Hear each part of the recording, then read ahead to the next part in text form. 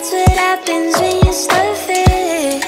Please say that you won't continue. Ordering oranges off the menu. Stuffing up your mouth with ta-ta tissue.